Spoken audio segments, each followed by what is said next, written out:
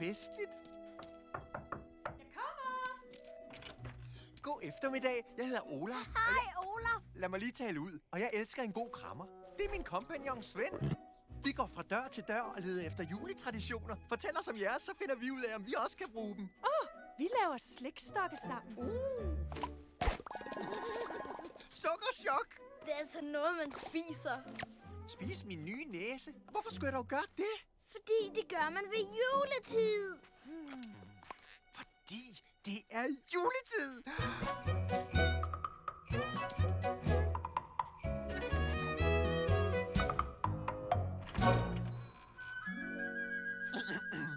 Pæn goddag og glædelig højtid, knus og kærlighed.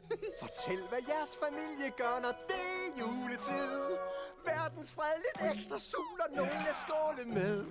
Hvad er traditionen her, når det er juletid? Jo, der er græn og julekogler overalt her i sæsonen.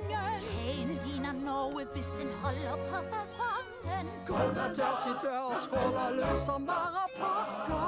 Ved den åbne ild, der hænger jeres uldne sokker. Det er sikkert ikke farligt. Så tak for julesange, der gør sjælen blød og blid. Og for at vise, hvad I gør, når det er juletid. Vi må hellere få fart på, hvis vi skal nå rundt til alle husene i kongeriget. Mig og så min julemakker suser vildt afsted. Og jeg vil spørge, hvad I gør, når det er juletid. Hej, shalom, glædelig solvær, smart sterin lys med. Jeg leder efter skikken nu,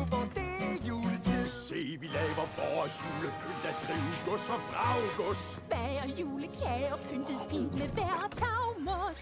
Den røg lige igennem mig. Gaver gemmes godt, men det er forbudt at løfte slæret. Stor rød mand forventes at forsere skorstensrøret.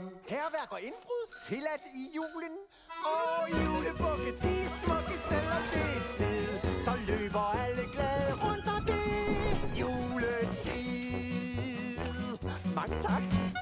Vi har strikket svætter selv, din matcher muffedissen. Jeg har syet nattøj, for det har jeg lovet nissen. Otte dage i træk skal der være lys i lysestagen.